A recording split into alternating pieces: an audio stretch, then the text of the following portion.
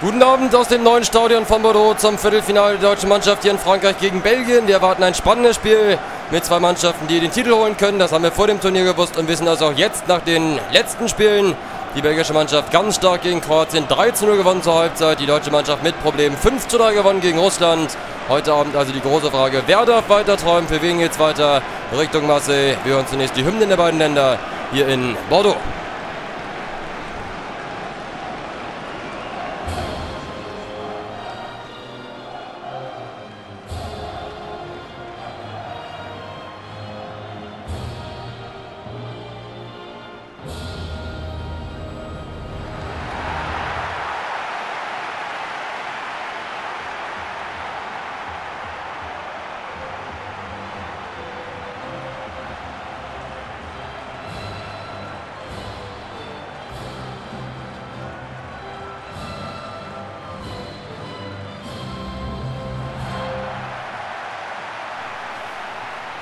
Die Bedingungen super, ein schöner Abend hier in Bordeaux. Wir freuen uns auf das Spiel und auf zwei Mannschaften, die beide gewinnen wollen, Richtung Halbfinale dann Polen und Portugal folgen wollen. Wir schauen zunächst auf die Startformationen.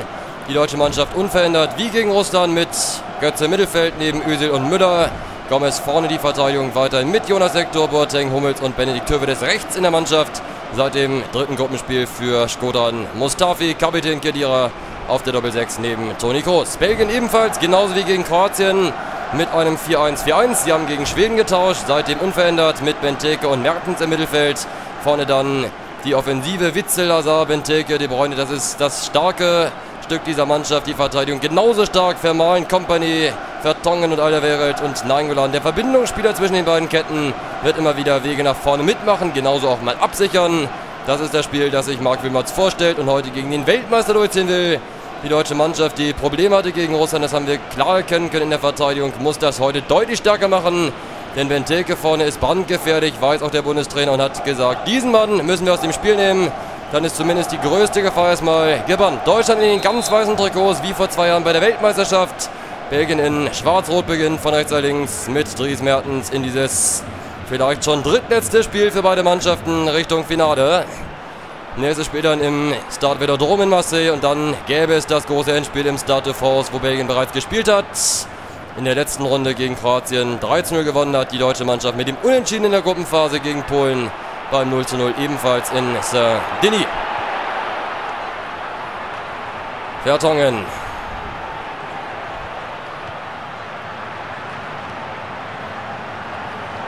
Nainggolan, gleich mal vorne, Benteke gut angespielt.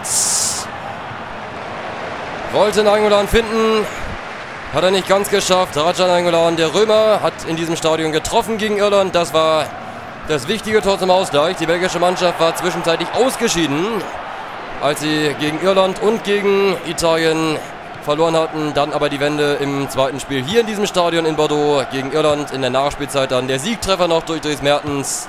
Seitdem auch der Neapolitaner in der Startformation gegen Schweden reingekommen. Und weil das besser funktioniert hat, auch mit Benteke vorne für Lukaku, hat Wilmots das so gelassen. Der ehemalige Schalker Spieler will heute gegen Deutschland seinen Erfolg feiern und das Halbfinale erreichen. Nächster Gegner dann Frankreich oder die Slowakei. Morgen Abend das letzte Viertelfinale im Stade de France in Saint-Denis. Hövedes. Toni Kroos. Vorne Götze, nicht angespielt. Jetzt gesehen. Kedira gesucht. Schön verteidigt von Vermalen.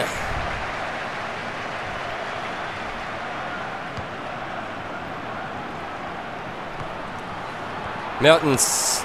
Benteke, Witzel. Links startet Nainggolan. Jetzt angespielt. Zurück für Benteke. Neuaufbau mit Alderweireld. Verteidiger aus Tottenham, genauso wie Vertongen links. Dazu Company von Manchester City und Vermalen aus Barcelona. Die Vereine sagen alles aus über die Qualität der Einzelspieler. Als Nationalmannschaft müssen sie sich zeigen beim ersten großen Turnier. Hazard, schön angenommen. Mit dem Rücken zum Tor muss ablegen. Groß vor Witzel. War ganz wichtig, dass da Toni Groß rangeht. Nachdem Mertens nicht im Abseits stand und den Ball Toll kontrolliert hat. Mario Gomez. Eine Bereicherung für die Mannschaft.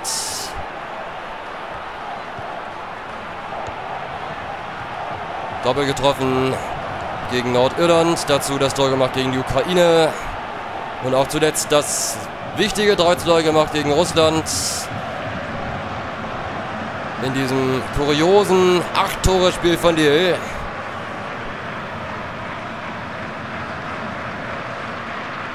Müller abgegrätscht von Jan Vertongen, dem Mann auf der linken Seite bei Belgien. Eckstoß für die deutsche Mannschaft. Toni Kroos. Courtois. Von Chelsea. Der Torwart mittlerweile auch dort Nummer 1. Davor ausgeliehen aus Madrid von Atletico. Mittlerweile zurück in London bei Chelsea. Peter Cech wechselte zu Arsenal, deswegen Courtois in der Nationalmannschaft und im Verein Nummer 1. Ist ein riesiger Torwart, 1,96 groß. Wird schwer sein, ihn zu überwinden. Hatte allerdings immer wieder kleine Schnitzer, gerade gegen Italien zum Auftakt. Deshalb, wenn er nicht ganz festgehalten hat. Schauen wir mal, ob das heute so weitergeht. Das darf natürlich nicht passieren gegen die Schnelloffensive Müller, Götze und auch Gomez, die natürlich genau darauf lauern, dass das wieder passiert bei Thibaut Courtois. Kedira. Mario Götze. Und Jonas Hector. Als Linksverteidiger mal sehr zentral, aber gut gespielt. Gomez. Odözil trifft den Pfosten. Erste große Chance. Mesut Özil. Toll angespielt von Gomez. Özil mit seinem Spiel gegen Nordirland hat das Tor gemacht. Und dann auch nachgelegt nach der Halbzeit gegen Russland allerdings viel zu wenig zu sehen. Muss heute besser machen und hat gleich mal die Chance gehabt, das Tor zu machen. Wäre der perfekte Zeitpunkt gewesen, früh in Führung zu gehen gegen Belgien. Vorteil für Deutschland nach dem Foul an Hövedes. Thomas Müller für Gomez. Mertens, schön verteidigt. Der Mann aus Neapel kein Spieler aus der belgischen Liga in der Startelf. Allesamt im Ausland, bei England, bei Italien. Oder eben auch in Spanien, wie Vermalen. Das ist eigentlich auch die Ausnahme. Die meisten spielen in England. Nein, oder an. Alderweireld. Nein, Golan, Mertens. Die Riesenchance, schön kombiniert. Dries Mertens, toll angespielt von Eingolan. Und der Ball fliegt knapp vorbei am Tor der Deutschen. Es gab Gelb obendrauf. Ja, sah, das war, war das Foul gegen Hövedes. Das wir jetzt nochmal sehen. Korrekte Entscheidung, da Gelb zu zeigen. Trotz des Fouls für die deutsche Mannschaft ein klares taktisches Foul. Das dann nachträglich geahndet wird mit Gelb für Hazard. Hat allerdings keine Folgen für den Mann von Chelsea.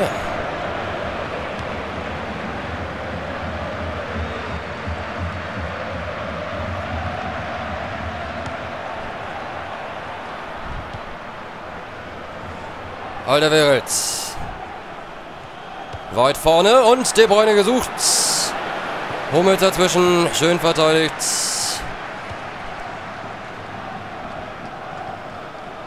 Kedira. Läuft weiter mit Gomez.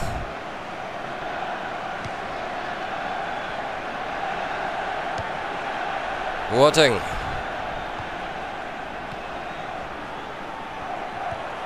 Gomez. Kein Foul von Tobi Alderweireld. Nein, gut an. Der Mann für die Ideen. Klasse gespielt. De Bruyne gegen Özil. Und es gibt Einwurf. Zunächst mal das Tempo rausgenommen von Mesut Özil gegen Kevin De Bruyne. Flache Flanke. Jonas Hector ist da vor Dries Mertens. Und wieder Nainggolan mit der Balleroberung. Der macht ein ganz starkes Spiel heute. Dieser Raja Nainggolan hatte auch schon gegen Irland gezeigt. Zuletzt gegen Kroatien. Nicht so oft zu sehen. Das war das Spiel von Benteke vorne. Mit zwei Treffern. Zum 13 0 Halbzeitstand. Partie war gelaufen zur Halbzeit. Das muss Deutschland verhindern. Witze aus St. Petersburg.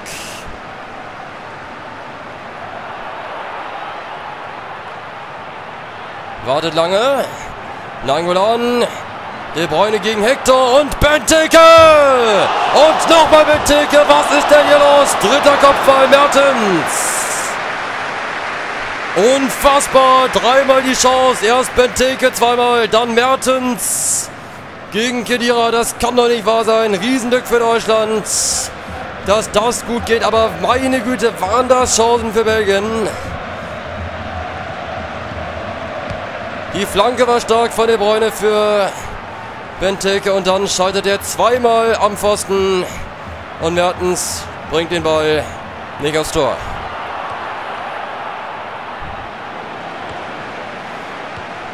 Aber genau das war das Spiel. Benteke suchen.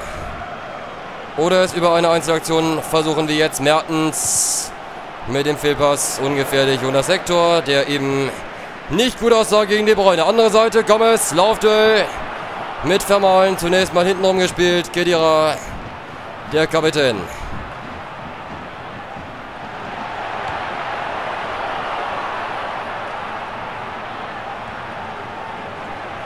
Özil. Kedira. Nicht im Abseits. Jonas Sektor. Da geht's gut. Gomez rausgeköpft von Vermaelen. Mertens. Witzel. Links startet Angola an. Wieder Witzel. Gegen Hövedes. Und Özil. Also, sieben Minuten noch bis zur Halbzeit. Die deutsche Mannschaft das lässt sich jetzt sehen, hat einen großen Gegner vor sich.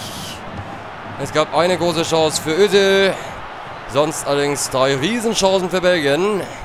Zweimal Benteke, einmal der Kopf von Mertens. Das war die größte Aktion dieses ersten Durchganges. Und es bleibt alles spannend. Das war zu erwarten. Die belgische Mannschaft kann heute gewinnen und könnte den Weltmeister aus dem Turnier werfen. Toni Kroos.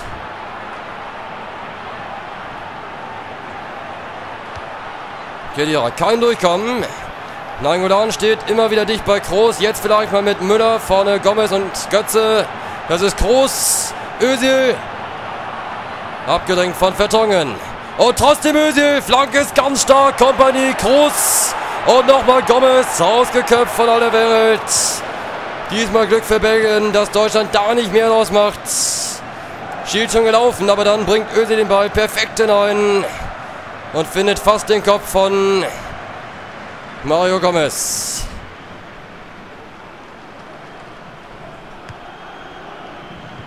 Also gestern und vorgestern zwei knappe Ergebnisse, zwei enge Spiele. Die polnische Mannschaft durch das spielte Tor von Krychowiak durchgesetzt gegen die Türkei. Portugal reichte das 1 zu 0 von Ronaldo gegen England.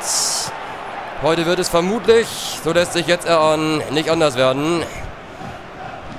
Denn hier spielen zwei Mannschaften, die wirklich stark spielen, die in Frage kommen für den ganz großen Erfolg. Aber nur für eine Mannschaft geht es weiter. Heute Abend wird ein Favorit ausscheiden. Jonas Sektor.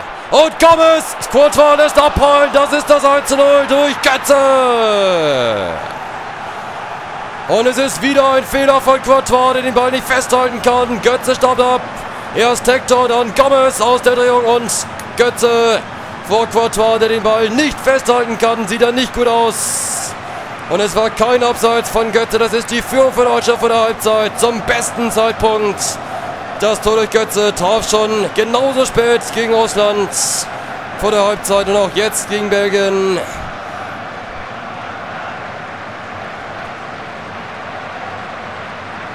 Erster Vorteil für die deutsche Mannschaft durch das Tor von Götze Richtung Halbfinale in Marseille. Was macht Belgien jetzt? Kompanie. Gegen Irland haben sie gezeigt, dass sie einen Rückstand aufholen können. Wenn sie eins haben, ist das Ruhe im Spiel. Foul von Mertens. Gibt die Ermahnung für den Mann aus Neapel, aber keine Karte. Dafür war es auch zu wenig. Kontakt ist da mit Kedira. Okay, also gelb kann man dann noch zeigen. Kedira bleibt zwar stehen, aber Mertens grätscht da voll hinein.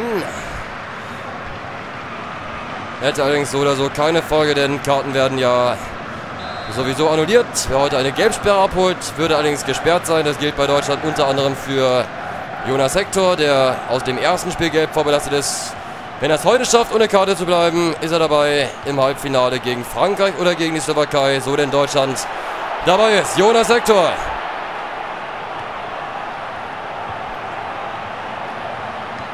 Witzel Halbzeit in Modo 1-0 für Deutschland durch das Tor von Götze. Es ist alles möglich, aber der kleine Vorteil für die deutsche Mannschaft durch das wichtige Tor, durch den abgeprallten Ball von Courtois, der nicht gut aussah. Das haben wir gegen Italien schon gesehen. Setzt sich heute fort. Thomas Müller selten vor dem Tor zu sehen. Auf der anderen Seite gab es die Riesenchancen. Zweimal Benteke, einmal Mertens mit der Kopfballsituation, als sie dreimal Aluminium trafen. Das war die Situation in Deutschland, der, in der Deutschland viel Glück hatte. Wir machen jetzt zunächst Halbzeit, sind gleich zurück mit Durchgang 2 hier im neuen Stadion von Bordeaux und freuen uns auf die Entscheidung dann in diesem Viertelfinale Deutschland gegen Belgien. Bis gleich!